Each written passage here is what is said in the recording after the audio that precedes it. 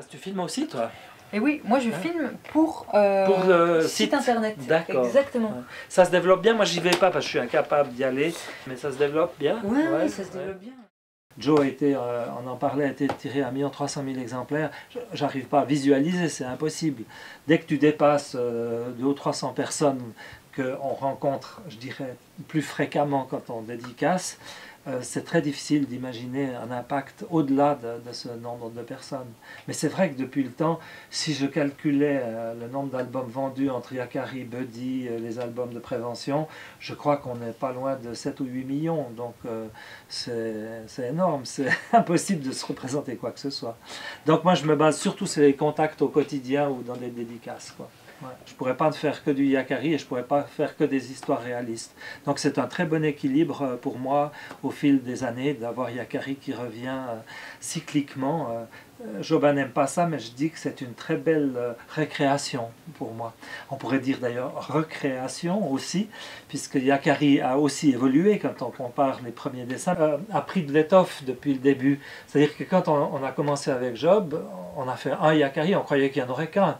Parce que si le premier album qui s'appelle Yakari et Grand Aigle, à la limite, il résume tout. Il rencontre Petit Tonnerre, il a son totem qui est Grand Aigle, il a son ami Arc-en-Ciel, la graine de bison, tous les éléments sont là et ça aurait pu n'être qu'une seule histoire.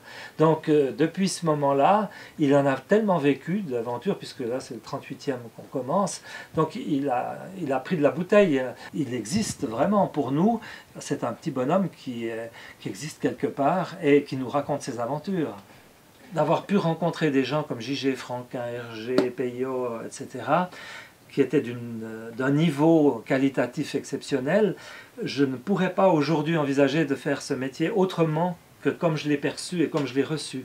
Donc pour moi, ça passe bien sûr par l'artisanat, où je me donne une liberté, c'est dans le choix des thèmes. Les Valaisans sont des personnages très particuliers, assez taiseux, euh, qui sont un peu difficiles d'accès, mais quand on est en confiance avec eux, c'est des gens très attachants.